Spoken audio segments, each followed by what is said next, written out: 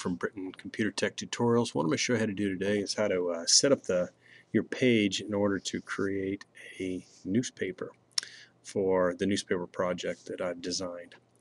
So the first thing we need to do is we want to change our margins. Newspapers don't have very big margins on them, so we're going to go up here to the uh, page layout menu and we're going to select margins.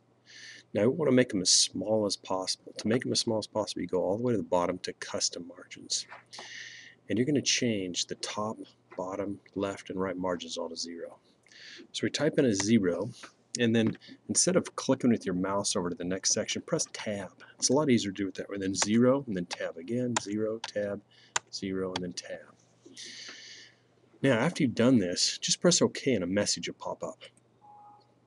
So what we want to do is we want to fix it. And what it'll do, is it'll make the margins as small as possible for your printer that you currently have hooked up. In my case, it's 0.17 or 0.18.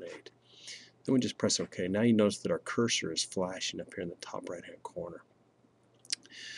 Now the next thing uh, that we want to do uh, is set up a few other things. So we're going to go to the View menu and we're going to turn our ruler on. You can turn it on and off here and we're also going to change our document to page width so we can work on our full document, work on this top part right here. And that's basically it. That's how we set up the margins of our document. Thank you.